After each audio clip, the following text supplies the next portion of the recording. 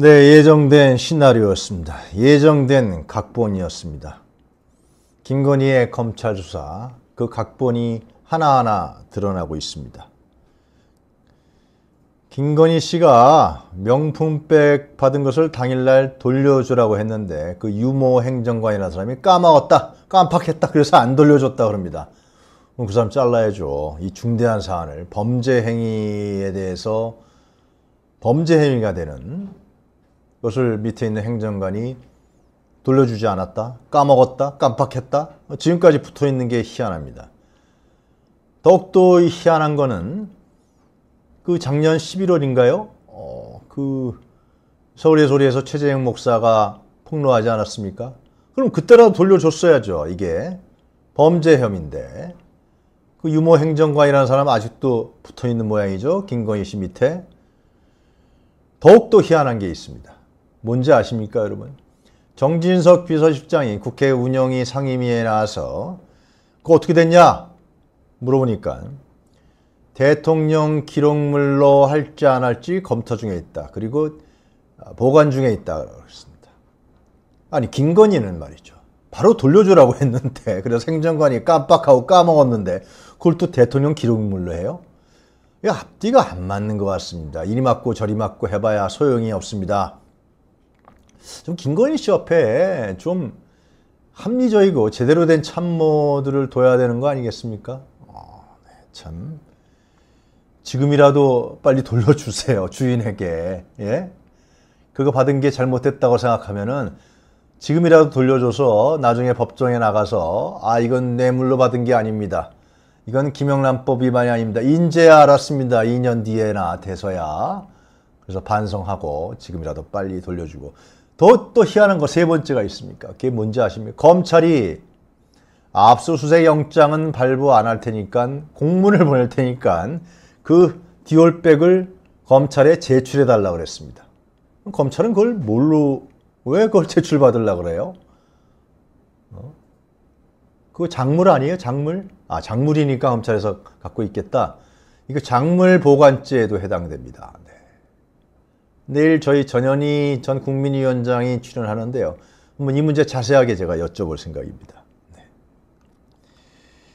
하여튼 각본과 시나리오 거짓말도 대충 해야지 양측이 양측이 김건희 여사가 되지 말기를 바랍니다. 앞뒤가 잘 맞게 짜시기 바랍니다. 행정관은 까먹었다. 네. 대통령실을 어, 대통령 기록물로 보관하려고 한다. 검토 중에 있다. 자, 어제 그 민들렌가 언론에서 단독 보도한 건데요. 이종호 씨가 젤렌스키가 방한하기 두 달 전에 삼부 토건을 언급했다. 차 안에서 그 뭐냐 멋쟁 해병들 그 단톡방에 있는 사람들까지 어디 간 모양인데요. 이 공수처가 이 진술을 확보했다 그럽니다. 공수처에서 나온 내용입니다. 시점을 여러분 잘 보십시오. 지난해 3월입니다. 이때는요, 그 삼부토건 주식이, 주가가 폭등하기 3, 2개월 전입니다. 이때 그 멋진 해병의 멋쟁 해병의 단톡방에도 나와 있습니다만은 3부 내일 체크. 아, 이게 뭐 3부라는 게 아라비아 3자라고 뭐 둘러댔는데 이게 3부 토건 주식 구입하란 얘기인가요? 그런 정보를 흘린 건가요? 이종호 씨가? 잘 모르겠습니다.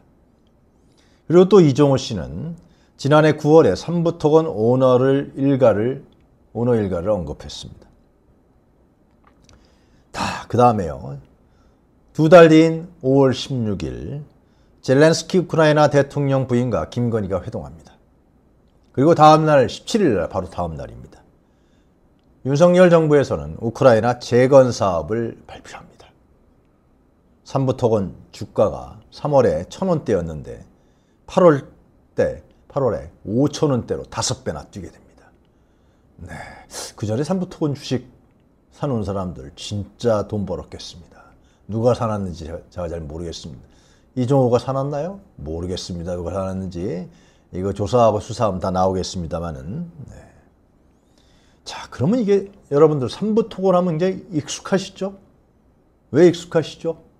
어, 조남옥 회장이라는 사람 이름 때문에 익숙합니다. 그래서 제가 과거에 기사를 한번 뒤져봤습니다. 삼부토건의 조남옥 회장과 윤석열 그리고 김건희와의 관계는 무엇인가? 그리고 왜 김건희 집사라고 하는 코바나 컨텐츠 2차 주가 조작범의 중심 인물인 이종호가 공수처에서 밝힌 진술에 따르면은 왜 멋쟁 해병 사람들에게 3부 땡땡땡을 했느냐. 그리고 그 차 안에서 3부 토건을 왜 얘기했느냐. 그리고 주식은 왜 주가는 뛰었느냐. 3부 토건의 조남옥 회장은 15년 이상 한겨레에 난 언론 기사인데요. 윤석열 당시 후보에게 후보 시절에 윤석열에게 설 명절 선물. 그러니까 그 당시 한겨레가 입수한 삼부통원의 조남옥 회장의 다이어리죠. 일정표. 거기 보면 30만 원, 40만 원대 정육, 꽃감, 최고급 갈치 등 이런 거를 때마다 윤석열에게 보냈다라는 것입니다. 당시 윤석열 후보에게 후보 선임 이제 윤석열 검사에게 보낸 거죠.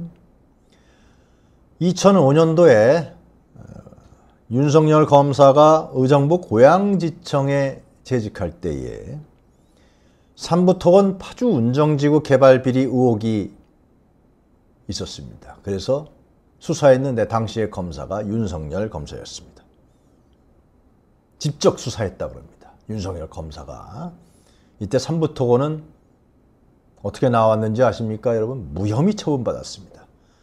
뭐 죄가 없었는지 그러나 관련해서는 어, 고발당했다 그럽니다. 삼부토건은 무혐의 처분. 윤석열 검사가 수사할 때 2006년도에 조남욱 회장과 골프 회동이 걸렸습니다. 조남욱 개인 일정표에 나와 있는 것이죠. 어, 거의 윤석열 검사와 골프와 식사를 아주 자주 했다라는 일정이 등장합니다. 당시에 2022년도에 뉴스공장에 삼부토건의 김영석 열린노조위원장이 출연해서요. 이런 얘기를 했습니다. 조남욱 회장과 윤석열, 김건희, 최은서는 각별한 사이라고 증언했습니다. 조남욱 회장이 오전에 삼부특원에서 근무하고 일 보고 오후에는 라마다 르네상스 호텔에 가서 항상 지배인에게 김 교수 출근했어? 어, 김 교수라는 사람은 여러분 누군지 아시겠죠? 김 교수 출근인지 물어봤다. 그리고 이 김영석 삼부토건 열린노조위원장은 조 회장과 김건희, 최은순이 함께 식사하는 것을 목격했다. 이런 얘기를 2022년도에 뉴스공장에 나와서 증언했습니다. 그리고 어, 또 하나의 언론 기사가 있더라고요. 어, 더 팩트라는 신문인데요. 인터넷 신문이죠. 기자가 조남옥 회장에게 상가에 와 있는 조남옥 회장에게 김건희와의 관계를 묻자 버럭 화를 내면서 그런 소리 하지 마! 라고 했다는 것입니다. 여러분 잘 알고 계시는 안혜옥 회장 있죠? 안혜옥 회장 지금 재판받고 있습니다. 김건희를 줄리라는 거로 자기가 들었다는 것으로서 재판을 받고 있는 이 안혜옥 회장이 김건희 줄리라는 예명으로 술자리에 동석했다. 이러한 주장을 했습니다. 지금 나오는 기사는 오마이뉴스의 인터뷰 기사입니다. 그리고 조 회장이 소개해 줬다. 라마다 르네상트 호텔 나이트클럽에 갔다가 아, 연회장에서 만났다. 물론 이것은 지금 아내장의 증언일 뿐입니다. 어, 저희가 이것을 줄리다, 줄리 아니다라고 감히 얘기할 수는 없겠죠. 그러나 하여튼 이런 일이 있었다. 삼부토건의 조남옥 회장과 윤석열, 김건희 관계를 우리가 볼 수 있는 대목들입니다. 물론 의혹이고 뭐 그 세 사람이 어떤 관계였는지 우리가 직접 뭐 동영상이라든가 사진이 나와 있는 것은 아닙니다만 증언자들이 이렇게 밝히고 있습니다. 그리고 안혜옥 회장은 지금 이 줄리라는 발언을 했다는 이유로 지금 재판 중에 있습니다. 예, 여기서 다시 한번 제가 돌아가서 이종우라는 사람이 젤렌스키 방한 두 달 전에 삼부토건을 언급했다. 그리고 삼부토건 주식이 뛰었고 그리고 어, 실제로 이 재건 사업에 삼부 토건이 참여하게 되는 것이죠. 자, 이게 무슨 관계인가요, 도대체? 여러분 궁금하지 않으십니까? 전에도 여러 차례 얘기했습니다만은 그 제보자 김 변호사가 도이치모터스 주가 조작 사건의 특검과 그리고 최상병 특검은 한 지점에서 만날 거라 그랬습니다. 최상병 순직 사건이 처음에는 경로로 시작했다가 그 다음엔 수사 외압으로 들어갔다가 그 다음에 여사 게이트로 갔다가 이제는 국정농단 의혹 사건으로 번지고 있습니다. 언론에서는 이 문제를 집중적으로 다루고 있지는 않은데요. 한두 군데 언론을 제외하고는 이거 엄청난 게이트가 나오고 있는 것입니다. 저희들이 여러 차례 방송에서 얘기했습니다만 과연 이 정권의 국정농단 의혹의 중심에 누가 있느냐 바로 김건희 씨가 있다. 이런 얘기들이 계속해서 나오고 있고 언론에서도 쓰고 있습니다. 어제 경향신문 칼럼에서는 김민아 칼럼에 김건희 여사 선을 넘으셨습니다라는 칼럼까지 얘기하고 있고 조선일보에서도 연일 윤석열 정권 김건희에 대해서 버릴 것을 종용하고 있습니다. 왜 그럴까요? 이러다가는 다 망하게 생겼거든요. 네. 다 망한다는 것은 우리가 망한다는 것이 아니라 자기네들이 망하게 생겼거든요. 언론이나 뉴스에서 직접적으로 언급하고 있지는 않습니다만은 지금 타겟은 김건희입니다.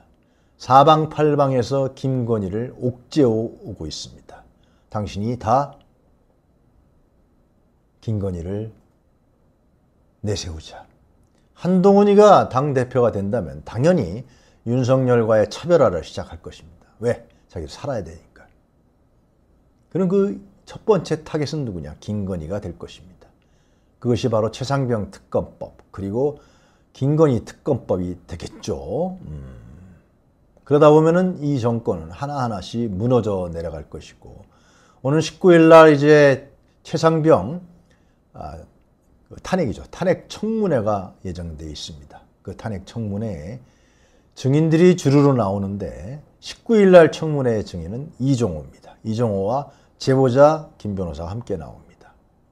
뭐 대, 김 변호사는 그 참고인 자격으로 나갈 거로 알려지는데 본인이 증인도 신청하겠다 그럽니다. 증인은 선서를 하게 됩니다. 여러분. 이제 다 선서하겠죠, 다. 선서에서 이야기가 되지 않을까 생각합니다. 저희들이 계속 여러 차례 얘기했습니다마는 이 정권의 핵심, 사실상 대통령이다.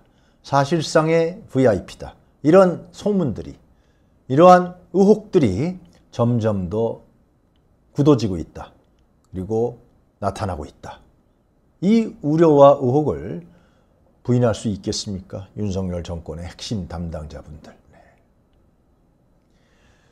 아마 19일 날 7월 19일 날 탄핵 청문회를 기점으로 해서 그리고 26일 계속 이어지는 국회 청문회 그리고 계속 이어지는 촛불 집회를 통해서 윤석열 정권이 무너져 내려가는 소리를 여러분들 들으실 겁니다. 그래서 나오는 소리가 지금 윤석열 대통령이 탄핵을 당하게 되면은 그 다음은 어떻게 할 것이냐? 권한 대행은 누가 할 것이냐? 저도 어제 어떤 분에게 전화를 받았는데 과연 탄핵이 될까요? 라고 물어보더라고요. 그래서 제가 탄핵을 시켜라. 그러면 일단 6개월 동안 직무정지가 된다. 6개월 이상이 될 수도 있습니다. 헌재에서 눈치 볼 테니까요. 직무정지가 되면 이곳저곳에서 막 터져 나올 것이다.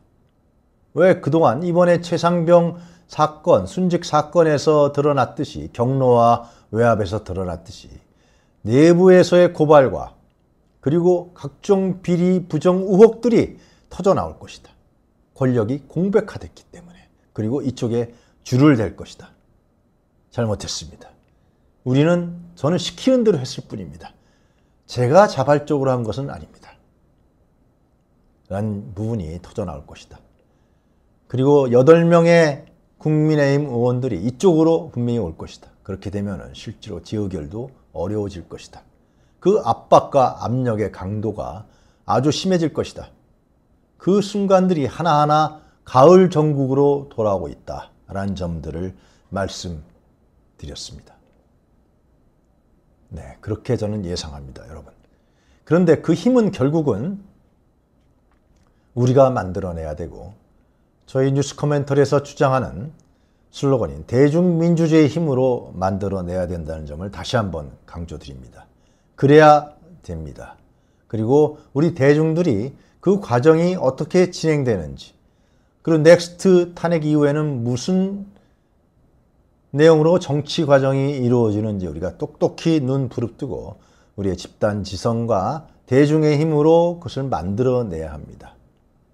물론 제가 서둘러서 얘기하는지는 모르겠습니다만 지금부터 이 문제를 준비해 나가야 되지 않을까.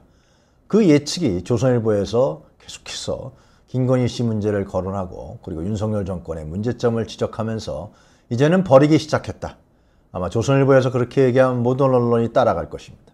그 점이 중심이 된다 라는 점을 다시 한번 오늘 아침에 제가 강조합니다. 엄중한 시기, 비상시국이 다가오고 있다. 그래서 이번에 어, 최고위원에 도전하시는 분들 그런 이런 엄중하고 비상시국에 무엇을 할 것이냐 과연 민주당 지도부가 어떻게 전략과 전설을 짜 나갈 것이고 그 능력이 능력을 어떻게 발휘할 것이냐 이 부분이 이번에 최고위원 선거의 가장 주안점이 되지 않을까 생각합니다. 이 방송을 시청하시는 분들도 최고위원 그 선출에 투표권을 갖고 계신 분이 있다 그러면 연고라든가 인맥이라든가 개인적인 호불호를 떠나서 과연 그 사람이 이런 엄중하고 비상한 시국, 시국에 민주당에서 앞장서서 그리고 자신의 능력을 최대한 발휘해서 이 비상시국을 끌어갈 만한 능력과 내용을 갖고 있는 사람이야. 라는 점이 이번 최고위원 선거의 가장 중요한 판단 기준과 투표 행위의 기준이 되어야 되지 않을까 생각합니다. 자, 이들이 이제 몰리니까 코너에 몰리자 또 걸었습니다. 누구를요? 우리의 이재명 대표를 다시 한번 걸었습니다. 아, 듣네. 지난번 이화영 전 부지사 재판에서 국정원의 공식 보고 문건도 무시하고 그리고 많은 언론을 통해서 그리고 이화영 부지사가 증언한 연어회 사건 결국 검찰의 조작 의혹이 있는 문제를 하나도 판결 과정에 바, 반영하지 않았던 신진우 판사가 우리 이재명 대표의 사건도 맡게 됐습니다. 네. 유죄를 예단하고 있는 판사가 또 맞는다. 이 문제를 이재명 대표 측에서 서울중앙지법에 같이 병합해달라. 라고 신청했지만 대법원에서 기각했습니다. 그 기각 내용은 별로 나오지 않았습니다. 왜 기각했는지 내용이 나와 있지 않습니다. 피고인이 수원과 서울을 왔다 갔다 해야 되고 특히 야당 국회 제1당의 야당 대표인데 이런 피고인의 피고입니까? 하여튼 피의자의 의사도 무시하는 대법원이 되어버렸습니다. 쉽지 않은 과정이 예상됩니다. 또 이 문제를 갖고서 얼마나 걸고 넘어지겠습니까? 그러나 이재명 대표는 우리가 지금까지 봐왔듯이 죽을 고비도 넘겼고요. 2년여 동안의 윤석열 정권의 검찰의 만행과 압박, 탄압도 이겨낸 사람입니다. 트럼프 후보가 암살 테러 미수 사건에서 살아났습니다. 이재명 대표도 마찬가지로 부산에 갔을 때 암살 미수 테러 사건에서 살아났습니다. 여러분 기억하시겠습니다만은 그 칼이 아주 아슬아슬하게 벗어났죠. 그러면서 이재명 대표는 얘기했습니다. 나의 목숨은 하늘이 준 것이다. 덤으로 받았다.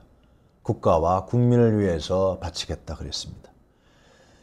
예, 하여튼 전국이 아마 한치의 오차도 허용하지 않으면서 진행될 것으로 보여집니다. 그러나 향후의 전국은 우리 대한민국의 운명, 우리 우리 국민의 삶의 운명, 국민 생활의 운명이 걸려 있습니다. 우리 국민 모두가 이 문제를 극복하고 이 위기를 벗어나서 새로운 우리의 시대를 여는데 한 발 한 발 나가는 그러한 엄중한 시국, 시국 이 됐으면 좋겠다. 거기에서 우리가 초긴장해서 하나하나 주시해서 함께 힘을 모아서 분열하지 말고 사소한 문제로 갈등하지 말고 전체 힘을 모으는 그러한 우리의 의지가 반영됐으면 좋겠다라는 생각이 듭니다. 용팔이 대회, 용팔이 전당대회 한번 좀 화면으로 보시고 어, 말씀 들어가도록 하겠습니다. 행사장 바깥에서 각 후보 지지자로 추정되는 사람들이 엉겨붙어 난투극을 벌입니다. 이들은 상당히 강한 수위의 주먹질을 주고받았는데 근처에 주차된 차량 블랙박스에 고스란히 찍힌 겁니다.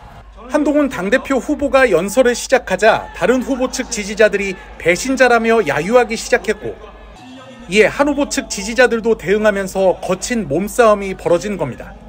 이 과정에서 한 참석자는 의자를 집어던지려다 다른 지지자와 몸싸움이 붙어 여러 사람이 뒤엉키기도 했습니다. 눈앞에서 6탄전을 지켜본 한 후보는 거듭 자제를 요청했지만 격앙된 분위기는 좀처럼 가라앉지 않았습니다. 네, 여러분들은 별로 이거 유쾌한 장면도 아닌데요. 어, 이 장면들을 어떻게 보셨습니까? 망해가는 집안. 네. 이 아무래도 우발적이라고 자꾸만 변명하고 있는데 국민의힘에서는 계획하고 와서 난동 핀 거다. 뭐 한동훈도 그러지 않았습니까? 이 조직적으로 움직였다는 징후와 현장 증언들이 계속 나오고 있습니다. 차량을 동원했다 그러죠. 차량까지 해서 거기서 우르르 여섯 일곱 명의 사람들이 나오고 그 두도로 패고 서로 간에 이게 이 전당대 연설에서 를 개판, 난장판으로 만들어서 하여튼 자기네들이 당권을 잡겠다는 후보자들과의 뭐 직접적 연관성이 있는지 없는지는 모르겠습니다만 그 지지자들이 이렇게 별짓을 다 하는 겁니다. 참 오래간만에 보는 것 같습니다. 이런 모습 여러분들 연세 드신 분들 기억하시겠습니다만 1987년에 용파리 사건 기억하실 겁니다. 당시에 전두환 집권 시절이죠. 음, DJ하고 YS가 이제 복권이 돼서 정치를 시작하면서 이 신민당의 친민당 당원들이었으니까요. 그 당시에 이민우가 내각제 구상을 밝히고 또 이철승이라는 사람이 내각제가 개혁, 개혁이다라고 주장하면서 DJ와 YS는 당을 나오게 됩니다. 당시에 내각제라 한다는 것은 뭡니까? 전두환 독재 정권을 연장시켜 주겠다는 아주 교활한 자기네들끼리의 묘수였겠죠. 그러니까 DJYS가 도저히 말이 안 된다 그래서 나와서 통일민주당을 창당하게 됩니다. 이것이 결국은 이후에 국민운동 본부라든가 직선제 개헌 투쟁을 이끌어가는 하나의 정치권의 중요한 기폭제가 됐었는데요. 그래서 DJ와 YS가 중심이 된 통일민주당 창당대회를 하는데 조직폭력배, 깡패들이 150명이 몰아닥쳐서 이 창당대회를 난장판으로 만들고 그 통일민주당 당사를 장악하게 됩니다. 음. 이것이 바로 용팔이 사건. 음. 용팔이 사건이 연상된다고 제가 얘기한 게 아니고요. 국민의힘의 김재원 전 의원이 이거 용팔이 사건 이후에 최대의 폭력 사건이다. 예, 사실상 이것이 음, 나중에는 처음에는 이것이 언론에서는 그 당시 언론 받아쓰기 언론이었으니까 뭐 이걸 갖고서 당 내분이 있었다 이렇게 몰아쳤지만 YS가 집권한 이후에 1993년도에 재수사를 하니까 전두환의 오른팔 장세동이가 장세동 안기 부장이 뒤에서 조종한 배후 세력이었다고 밝혀졌습니다. 이러한 정치 깡패의 역사는 군사 독재 정권과 독재 정권과 괴를 같이 합니다, 여러분. 윤석열 대통령이 그렇게 존경하는 이승만, 이승만 시대의 정치 깡패는 유명했죠, 여러분들. 이정재라든가, 음? 그, 뭐, 백골단, 민족 자결단, 이러한 정치 깡패들이 전당대회라든가 정치 행사에 난입해왔고, 두드려 패고, 야당 행사가 있으면은 거기 가서 난동을 피고, 이것이 바로 이승만 때의 정치 깡패인데요. 어, 또 정권에서 이걸 방관하고 이 전통을 이어받는 것 같습니다. 네. 이승만 대통령을 존경하는 정권이라 그러니까 이때 있었던 정치 깡패들, 폭력배들의 정치 집회의 방해, 난동, 또 난투국 이 이어져 내려오는 거 아니냐 그런 의심마저 들 정도입니다. 이들은 아, 당시의 정치인들은 자신의 권력을 유지하기 위해서 폭력을 섬- 서슴지 않았고요. 이에 불붙어서 바로 이 정치 깡패들이 이권, 세력 확정 이들은 그냥 움직이지 않습니다. 그래서 국힘의 전당대회 그 연설회에서 있었던 그 폭력과 난투극 이것이 조작, 조작적이고 그리고 조직적으로 움직였다 그러면 이 뒤에는 문- 분명히 검은 돈과 검은 조직이 있었을 것이다. 우리가 추측할 수밖에 없는 것입니다. 하여튼 대단합니다. 갈 때까지 가는 것 같습니다. 네. 대한방공청년단 이것도 유명하죠. 1960년도에 이승만 정권의 부정선거에도 이용당합니다. 이 역사를 이어받아 이어받아서 따라하는 것입니까? 그렇지 않길 바라겠습니다. 정말 이 몇십 년 전으로 후퇴하는 국민의힘 이 사라져야 한다는 것이 이제 일반 정설이 되지 않겠습니까? 이렇게 난투극을 벌이고 폭력을 벌이고 그리고 상대방을 짓밟고 비난하고 조롱하고 그리고 뭐 비밀스러운 게 있다 그러면 까고 음? 그걸 통해 갖고 권력을 장악하려고 하는 이들의 행태는 진짜 치졸하고 추악하고 추잡한 것이다. 라고 분명하게 말씀드릴 수밖에 없습니다. 이들이 바로 윤석열 정권을 뒷받침하는 윤석열 정권과 함께하는 그 사람들이라는 사실에 우리는 경악할 수밖에 없는 것입니다. 과연 윤석열 정권의 성격은 무엇인가 우리가 분명히 알 수밖에 없는 것이죠. 윤석열 정권의 성격. 네. 윤석열 김건희 부부를 얘기하기 전에 국힘 전당대회 연설에서 나타난 그들의 하수인들이 벌이는 이 난투극과 권력 쟁탈전 진짜 폐악적이고 그리고 자신의 권력만 쫓는 이들이 집권 여당의 당직자고 집권 여당의 당 대표 후보를 지지하는 사람들이다. 참, 너무나 한심할 수밖에 없습니다. 자, 그래서 이들은 당권에만 오직 관심이 있는 것이죠. 어, 그래갖고 이 결국은 이번 이 당권 쟁탈전의 중심 인물은 누굽니까? 아, 저희들 생각엔 김건희라고 생각합니다. 김건희가 김건희의 문자가 김건희의 문자가 결국은 이렇게 난장판을 만들어 놓은 것이 아니냐. 그래서 한동훈이 배신자다. 아니다. 뭐 친윤이다. 뭐 이런 사람들이 다 등장하면서 전당대회로 이제 흙탕물로 만들어 버리게 된 아주 기본적인 요인이라고 볼 수가 있는 것이죠. 결국 이번 전당대 국민의힘 전당대회를 통해서 윤석열 대 국민 이러한 대립구도가 이제는 윤석열 대 한동훈 두 사람은 루비콘 강을 걷는 것 같습니다. 이제는 서로 간에 정치 생명을 끊어버리겠다고 서로 간에 다툼을 벌이고 있고 그것도 국민들 보는 앞에서요. 국민들이 보건 말건 간에 폭력을 쓰고 전당대회에서 어, 이런 식으로 하고 있습니다. 네. 그 조선일보에서 오늘 보도가 됐는데요. 그 전당대회에서 극렬 유튜버들이 음 해서 이렇게 사건이 일어나는 거다라는데 이 사람들이 또 어떤 자유민주주의 뭐 그쪽 관련이 있다 이러한 보도들도 있습니다. 자, 이 국민의힘이 자, 자멸하는 기폭제 역할을 김건희 여사가 하고 있다. 본래 김건희 여사는 사실상 윤석열 정권을 멸망하게 만드는 하나의 어, 기폭제 역할을 하고 있는데 이제는 자멸하는 기폭제 역할도 하고 있다. 큰 일을 하고 있습니다. 선출되지 않은 권력이 국정농단도 이런 국정농단이 있겠느냐라는 생각밖에 들지가 않습니다. 네. 추악한 모습일 뿐입니다. 네. 자, 뭐 이 정도로 얘기하고요. 남의 집 얘기니까. 그러나 어, 이들이 국회에서 활동을 하고 있고, 이들이 국정 운영을 도맡고 있고, 어? 이들이 실질적인 활동을 하고 있다라는 사실 자체에 경악스러울 수밖에 없고, 그래서 오늘 제가 한 말씀 드렸습니다. 자, 이진숙이라는 사람은 누구냐? 연일 이진숙에 대해서 얘기가 나오고 있습니다. 네. 이진숙 그는 누구인가? 어, 이 사람이 세월호 참사의 노란 리본을 보면서 나라 앞날이 노랗다. 거의 괴담 수준이죠, 여러분. 그리고 이준석 후보에게 그 후원한 고액 후보자들은 5.18은 광주 전라도 최고의 상품이다. 아, 어떻게 이런 말을 감히 할 수 있을까요? 광주 항쟁에서 수녀님들이 홍위병이었다. 김일성 만세는 표현의 자유다. 그런 얘기가 나왔다고 비난하는 거죠. 또 전두환 조금 긍정에다 파쇼 공범이다. 이런 사람들이 이준석과 같이 하고 있는 사람들이라고 합니다. 근데 이 이준석은 말이죠. 정치를 하려고 그러다가 다 안 됐어요.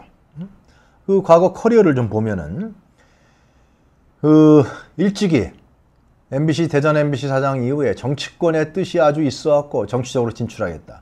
그 줄을 잡아야 될 거 아니에요? 그 줄을 결국은 어디로 잡았느냐? 극우 보수 쪽으로 잡은 거라고 볼 수밖에 없습니다. 2021년도 윤석열 후보가 나왔을 때 정권 교체 국민 행동 에서 주최하는 이게 무슨 단체인지 모르겠는데 하여튼 간에 정권 교체 국민 행동의 패널로 나와서 MBC 민영화를 언급했습니다. 윤석열 후보가 굉장히 좋아했겠죠. 속으로 어, 너 괜찮은 사람이구나. 뭐 그렇게 생각하지 않았겠어요? 네. 자. 그리고 이 민영화는 이제 MBC 방통위원장이 되면 이제 민영화 작업에 들어갈 텐데 민영화는 이준석 MBC 기획본부장 시절부터 이 정수장학회하고 지분 매각을 논의했다 그럽니다. 그러니까 이준석의 가장 큰 태스크는 MBC 민영화입니다. 그리고 제 생각에는 자기도 알고 있겠죠. 더 방통위원장하다 탄핵당할 수 있다는 걸 알고 있을 겁니다. MBC 민영화만 마치고 나오자. 그런 다음에 뭘 하겠습니까? 당연히 어? 국회의원 뺏지 달라 그러겠죠. 공천 받아서. 그것이 이진숙의 목적입니다. 네. 왜 그러냐? 어, 이 사람은 그 뭡니까? 어, 2019년도 자유한국당의 총선에 인재로 영입된 사람이라고 합니다. 그리고 2020년 총선 또 2022년 그 지방선거 이때 국힘 예비 후보로 등록했지만 공천을 못 받았어요. 네.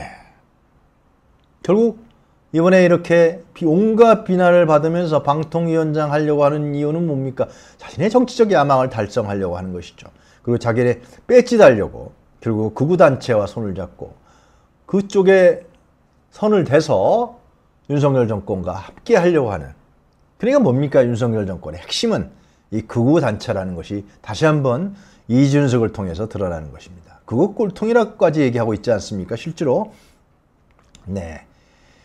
하여튼 뭐 2021년부터 열심히 활동했습니다. 바른 언론인 모임, 또 공정언론 국민연대 그 그쪽에서 뭡니까? 이 국민의힘 외곽 단체라고 볼 수가 있는데요. 어, 그쪽에서 MBC 사장은 내가 돼야 되지 않겠느냐? 뭐 이런 얘기까지 하고 다녔다고 합니다. 네. 하여튼 대단한 사람을 앉혔는데 이준석의 그럼 개인적인 생각이 뭐냐? 진짜 구구의 신념을 갖고 있는 사람이냐? 아, 물론 갖고 있겠지만 이 사람은 정치권에 진출하기 위해서 어차피 쫓겨날 방통위원장 몇 개월이 되든 간에 MBC를 민영한 뒤에 쫓겨나서 그 다음에 정치권에 진출하겠다. 윤석열 정권에 잘 보여서 그것이 바로 이준석의 정치적 야심이고 이번에 방통위원장을 하려고 하는 그의 개인적 계획이다. 이런 말씀 드리겠습니다. 주가 조작 얘기 좀 짚어보겠습니다. 이 간간히 언론에 보도됐기 때문에 제가 그 줄기를 한번 엮어봤습니다. 여러분들 주가 조작, 어, 작전주 하면 누가 떠오르십니까? 이 작전주와 주가 조작은 자본주의 질서를 완전히 망치는 행위입니다. 그래서 자본주의가 가장 발달되어 있는 미국 같은 경우는 이런 주가 조작범에 대해서는 엄한 벌을 내리죠. 그 형량이 대단한 거로 제가 알고 있습니다. 도이치모터스 주가 조작이 제일 먼저 떠오르시죠. 네.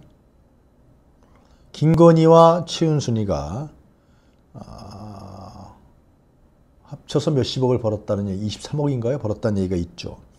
당시에 주당 3천원 하던 주식 8천억이 20억에 매도했다. 누가요? 김건희가. 근데 음. 그러나 이들은 아직도 음, 네 지금 저기에 YTN에 나온 장면 같은데요. 아직도 이들은 검찰에서 수사를 받지 않고 있습니다. 주가 조작범이 수사를 받지 않는다? 그럼 한국의 자본주의 주식시장은 어떻게 되는 겁니까? 누구나 나나 권력 끈아풀이면은 주가 조작과 주식 부양과 음, 주식을 통해서 쉽게 개미들의 돈을 뜯어다가 돈을 벌 수 있다라는 거 아닙니까? 아, 주식 시장이라는 건 뭡니까? 각 기업들이 자신들의 기업의 향후의 장래성, 미래성을 내놓으면은 우리 국민들이 거기다 투자를 해서 그래서 그 기업이 잘 되면은 이득을 취하는 아주 자본주의에서 투자와 이 보상이 이루어지는 아주 중요한 시장입니다. 그런데 한국의 주식시장은 이 도이치모터스 이 주가 조작범들 때문에 망해버렸습니다. 신뢰를 안 합니다. 그래서 많은 사람들이 미국 증시로 가고 있다는 것은 다 알고 계실 겁니다. 예, 하여튼 자 그리고 우리 이 뭡니까 아, 주가 조작 에 의심이 되는 사건들이 연이어 일어나고 있습니다. 그것이 바로 고래 대왕 프로젝트인가요? 네. 윤석열 대통령이 지난 3일인가요? 장시 열리는 오전 10시에 아프리카 정상회의에 있다가 튀어와서 갑자기 기자회견을 합니다. 동해에 140만 배럴의 석유와 가스가 있다. 네, 왜 갑자기 와서 그랬을까요? 네. 그리고 아프리카 정상들 모이는 회의에 갑니다. 대통령이 갑자기 그것도 10시는 장시가 열리는 시간이죠. 하나 잡힌 거는 지금 언론에 하나 잡힌 거는 가스공사, 가스공사 주식 하나인데요. 여러분 보도도 나왔습니다만은 이 가스공사는 공기업입니다. 그래서 주식이 이렇게 왔다 갔다 하지 않아요. 어, 그냥 안정돼 있고 그렇게 공기업에 누가 공기업이 무슨 안정된 기업이잖아요. 거기서 뭐 이득을 한꺼번에 많이 취하거나 매출이 늘어나거나 단기 순이익이 늘어나는 곳이 아닙니다. 안정된 곳입니다. 가스공사는. 한전도 그렇고요. 다. 5월 31일 날 2만 8천 하던 주가가 윤석열 발표 당일 날 상한가를 쳐버렸습니다. 공기업 주가가 10년 만에 6만 4,500원이 됐다. 이때에 가스공사의 직원들이 내다 팔기 시작합니다. 우리 사주 직원들이 주식을 빼서 내다 팔기 시작합니다. 이 우리 사주라는 것은 끝까지 가져가는 거거든요. 여러분 잘 아시겠습니다만. 그건 주식시장에 넣었다 뺐다 하는 주식이 아니에요. 거의 직원들이 하나의 중요한 음, 그 기업에 있어서의 하나의 보상 시스템으로 갖고 있는 주식이 우리 사주입니다. 퇴직할 때 그것도 팔거나. 다 3일날 윤석열 대통령이 기자회견한 날이죠. 4,750주. 다음날 8만 7천주. 또 그 다음날은 13만 1164주를 가스공사 직원들이 팔아서 꼈습니다. 당시 직원 1,500명이 매각한 금액이 518억. 야, 공기업 주식이 작전주가 돼버렸습니다. 네. 근데 이것은 공기업이니까 지금 밝혀진 거죠. 이 당시에 테마주라든가 이 편승해서 했던 주식 거래를 뒤져보면은 굉장할 거라고 저는 생각합니다. 분명히 국정조사를 통해서 밝혀져야 될 사실입니다. 자, 도이치모터스 주가 조작, 그 다음에 가스공사의 작전주, 그리고 석유개발과 대통령의 기자회견. 뭔가 연관성이 있어 보이지 않습니까? 또 세 번째가 있습니다. 삼부토건입니다.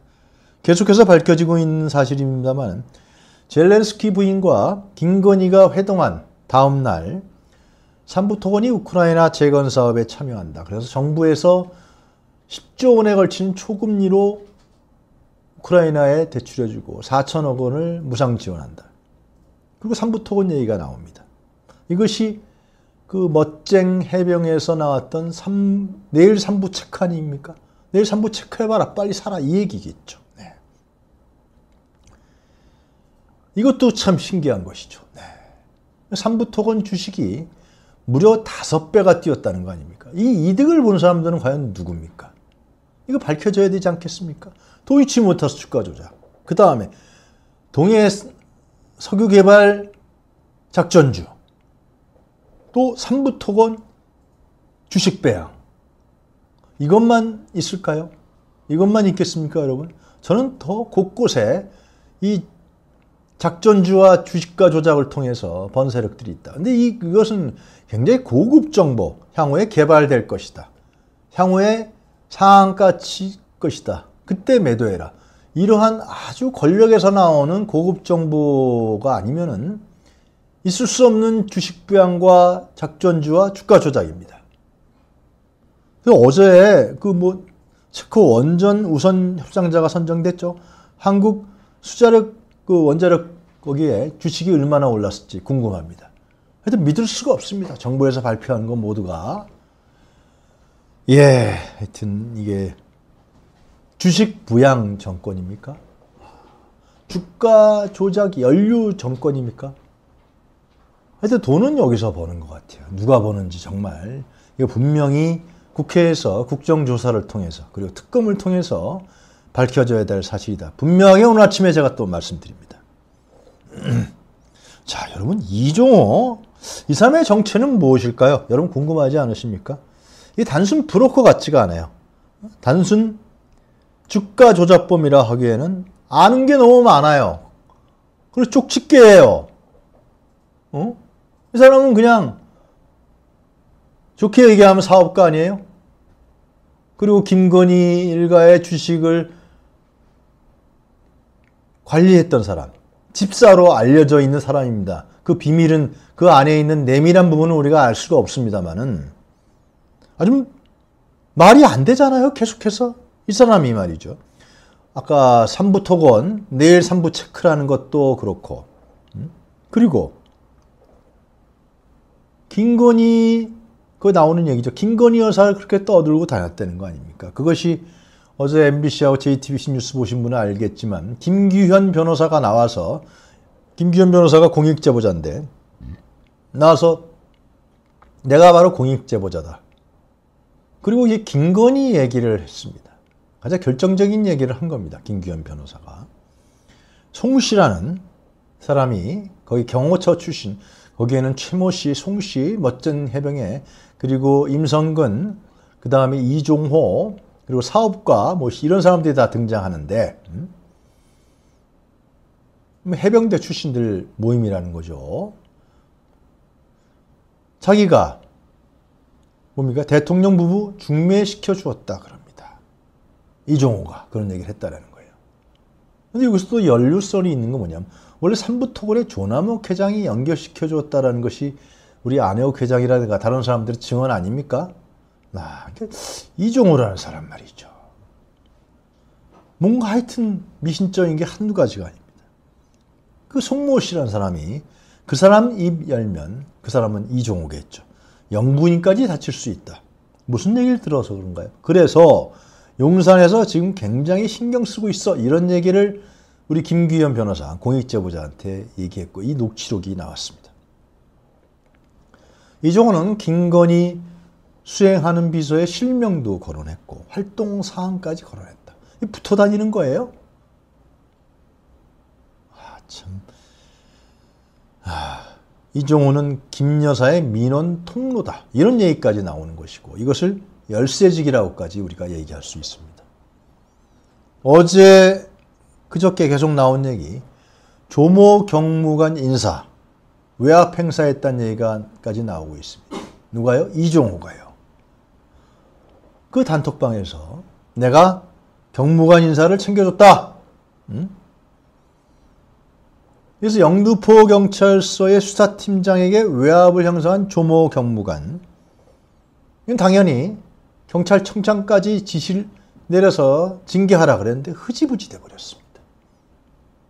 그냥 없던 일로 돼버렸어요. 근데 이제 언론에서 수사팀장이 제보하면서 이게 불거지기 시작했는데요. 이것도 그러면 이종호가 한 겁니까? 야, 경찰 인사까지, 국방장관 인사까지. 아, 이 사람이 그러니까 뭐 누구한테 들어서 한 얘기가 아니라 자기가 관여했다라는 식의 얘기를 하는 거예요, 지금. 사표 쓰지 마라. 내가 VIP한테 얘기해 주겠다. 국방장관 교체 3부 토건 상황 이런 것을 자기가 운영하는 겁니까? 이 고등 브로커라고 얘기에는 예를 들면 추정해서 주가 조작 범이니까 김건희 최은순 쪽에 돈을 벌게 해준 사람이니까 돈으로 얽혀 있는 사이다. 그래서 이게 집사다, 열쇠직이다, 뭐 이런 얘기까지는 우리가 충분히 추정이 가능한데 이 국정운영에 인사까지도 이 사람이 개입했다. 인사는 당연히 블랙머니가 들어갑니다, 여러분. 그 블랙머니는 중간에 했던 고등 브로커뿐만 아니라 인사권을 한 사람, 이 사람한테도 바쳐지게 되는 것입니다. 예. 이건 제2의 최순실, 최순실도 능가하는 능력을 지금 발휘하고 있는 사람이 바로 이종호라는 인물입니다. 그래서 저희 추정은 이 임성근 사단장 구명 로비 사건, 뭐 제가 부드럽게 얘기하고 있습니다. 이건 뭐냐?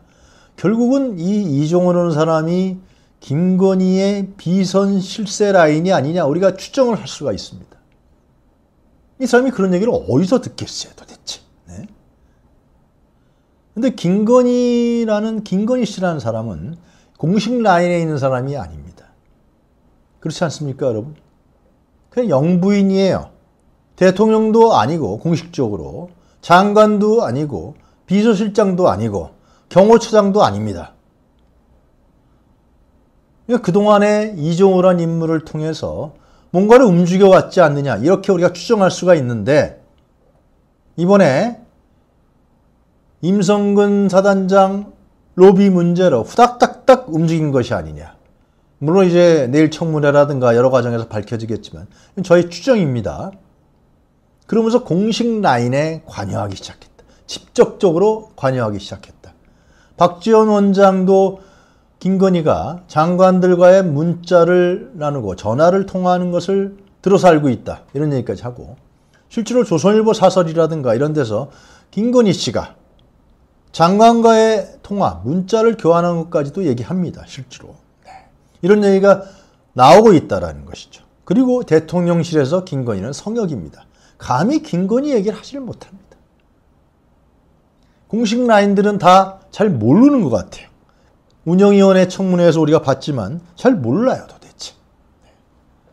결국 이것은 뭐냐.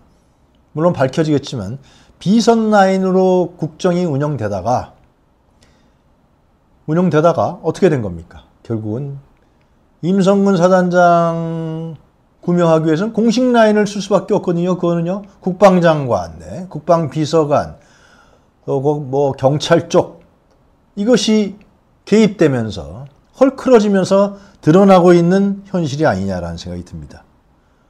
결국은 공식 라인과 비공식 라인 이것이 넘나들면서 지금 하나하나 우리 국민 앞에 폭로되고 있다. 네. 해방 이후에 최대의 스캔들입니다. 이것은. 해방 이후에 최대의 게이트고 이건 국정농단도 이런 국정농단도 없을 것입니다. 아예 나와서 하지 아예 어? 왜 숨어서 말이죠 하다가 이것이 비공식 공식 라인을 넘나들면서 하는 사건이 조금씩 조금씩 그 양파 껍질 까지듯이 나타나고 있지 않느냐 이렇게 오늘 아침 제가 여러분들에게 말씀드립니다. 자, 그 JTBC에서 어제 기자가 보도한 내용부터 잠깐 보고서 어, 이어가도록 하겠습니다. 네.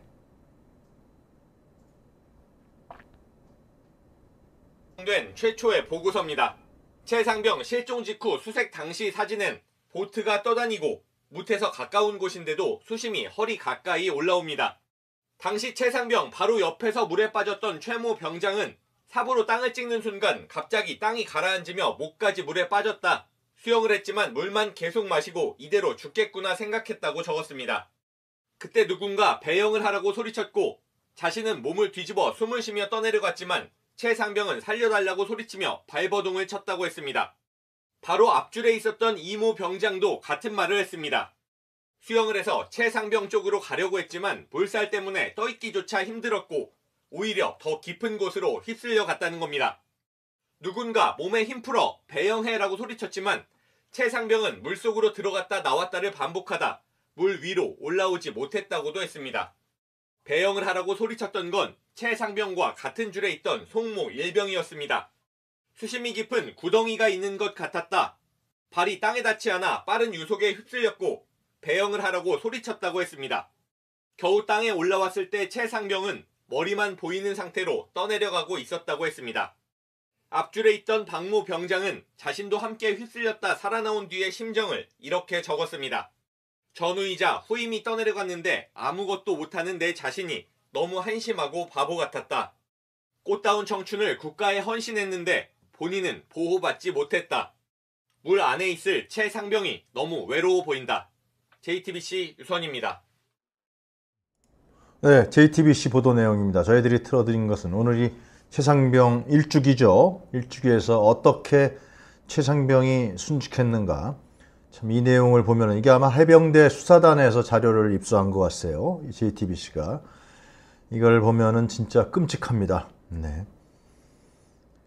아, 이런 상황이었는데 배영을 하라는 얘기까지 나올 정도였습니다. 그 병장은 좀 경험이 있으니까 최상병은 경험이 없어서인지 워낙 상황이 급박했는지 배영을 하지 못해서 다른 사병들은 배영을 해서 빠져나왔다는 것이고 최상병은 그 자리에서 순직했습니다.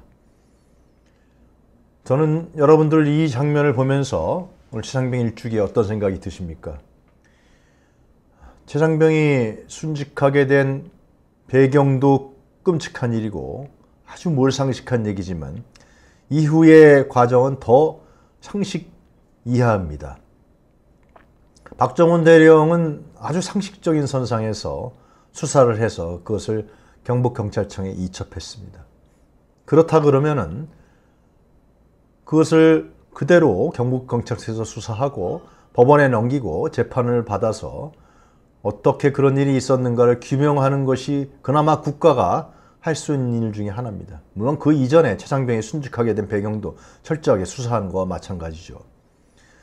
책임자를 규명하고 이걸 사법적 판단에 맡기는 것은 지극히 당연한 일이고 국가가 이건 민주주의 국가 아니 독재 국가라도 이거는 해야 될 일 중에 하나입니다. 그러나 박정훈 대령은 제대로 수사한 상식선에서 수사한 해병대 수사단장인 박정훈 대령이 항명 수괴죄로 되고 거기서 지휘하고 지시했던 임성근이라는 이 사람은 거기서 제외됐습니다.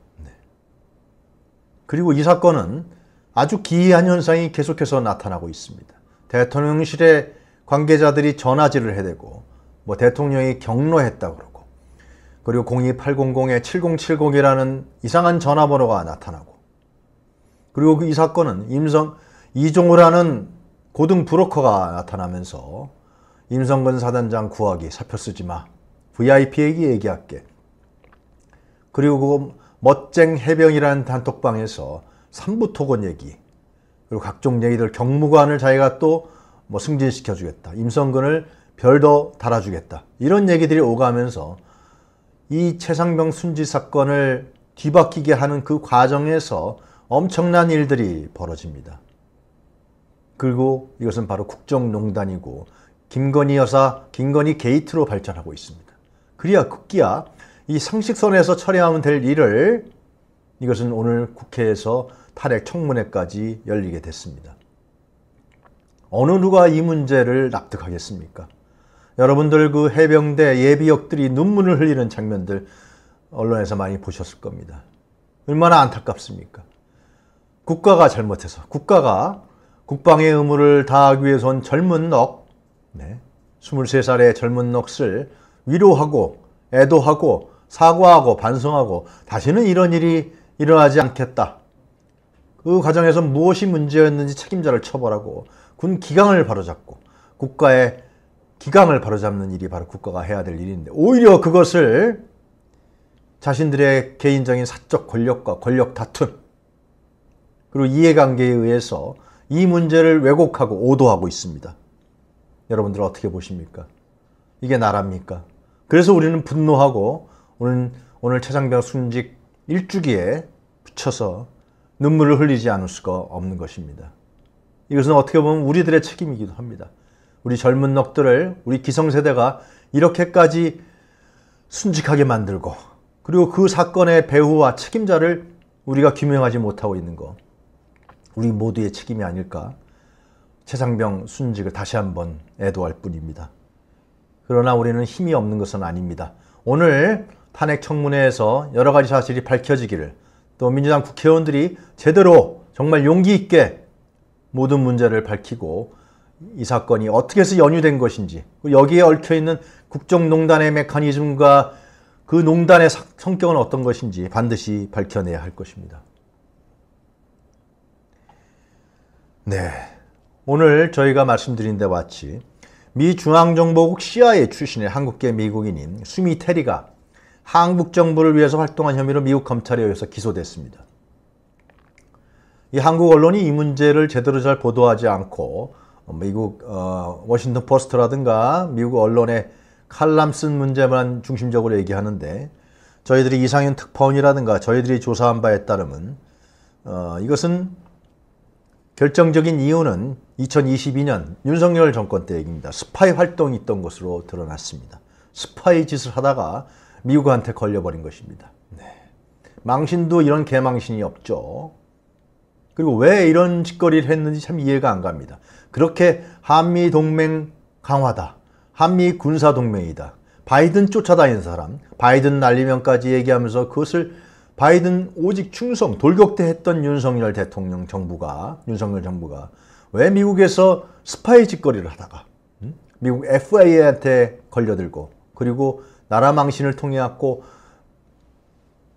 이 스파이 짓을 했다라고 미국 언론에 보도됐는지 참 이해하기가 너무 어렵습니다. 네.